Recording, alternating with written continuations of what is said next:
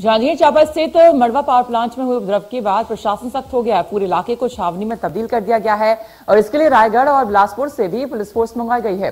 वहीं इस मामले में पुलिस ने 400 उपद्रवियों पर पाँच अलग अलग एफआईआर भी दर्ज कर ली है और इसमें से सात लोगों को गिरफ़्तार कर लिया गया है। उपद्रवियों की तलाश की जा रही है। कल के हंगामे के बाद अब प्रशासन किसी नरमी के मूड में नहीं दिख रही है।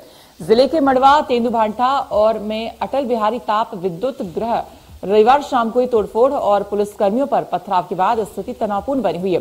इस हमले में 20 से 25 पुलिसकर्मियों को चोटें आई हैं।